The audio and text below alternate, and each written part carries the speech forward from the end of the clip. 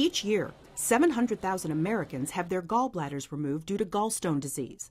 Cholesterol lowering drugs called statins may decrease the risk of the disease and surgery which follows. Statins actually act in the liver. And um, in doing so, they reduce uh, the cholesterol formation in liver. And this transforms to lower blood levels of cholesterol, but maybe also of lower levels in the gallbladder.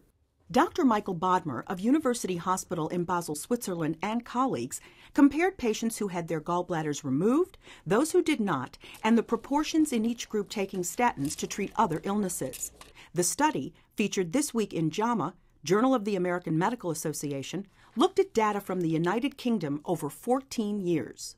And what you find in this um, comparison between these two groups is that patients who used statins um, were less likely to have the gallbladder removed uh, than patients who did not um, use the statins. Researchers also studied how long a patient needed to take statins before the risk was reduced.